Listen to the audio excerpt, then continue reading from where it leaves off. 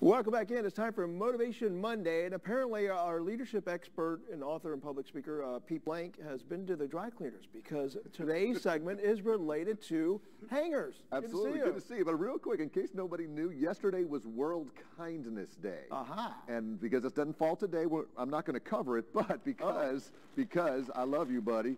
Who likes who likes circus, pe- peanuts? These are so bad for I you know, too. I but know. even worse, look what else I found for you. Oh my goodness, candy corn. Candy corn licorice. Oh wow. Let's go. Those World just evil. Kindness. Thank you, sir. Thank you. So I will still, I will still indulge. later I'm sure time. you will. But anyhow, let's, yeah, let's talk about, let's the talk hangers. about yeah, what, so, yeah. What do the different hangers mean? Well, sometimes we got to give constructive feedback to people. Like if you're a grandparent or a parent, you're always giving your kids constructive feedback. If you're an employer, you're always giving your employees constructive teacher or a feedback. coach. teacher, coach, same thing.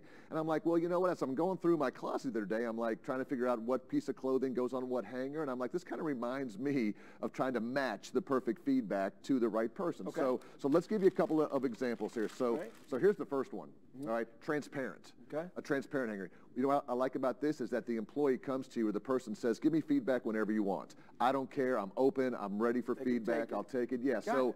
they're wide open. Bring, that's the easiest person They're- to they're give. coachable. They're They're, coachable. coachable. I like that. Absolutely. Right, yeah. Absolutely.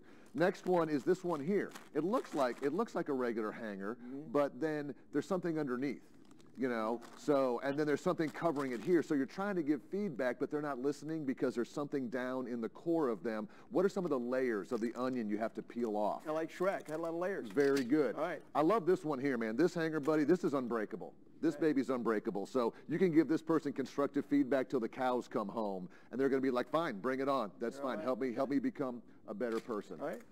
My daughter loves these. Boy, this cost me a lot of money when they were in college. Feel that? Soft hand. Isn't that nice? Oh, the felt. Yeah, the that's extra. nice. But you got to be careful when you give feedback to someone who's got a soft exterior because you're like, oh my gosh, they're taking it personal and how dare you? And they're starting to cry. And you're Yeah. like, hang on a second. So I need to change the way I give you feedback based on this here. Oh, a lot of hard-nosed coaches are realizing that over the last couple of decades. You can't just come in with your own style of constructive feedback. And the last one is the pinchers. You know, these are the people who you give them feedback, but they're they're, they're going to bite back. They're going to say, well, hey, what about you? What about you? How come you? How come you're telling me all about this? So again, be careful with those people because they may not take it well. They're going to want to bite back right at you. I so like that. what do you think like about that. that, huh? that How about that? Thank you, Pete. That's leadership, baby. Thank you for the, uh, the, the sugar. Now let's go to the kitchen.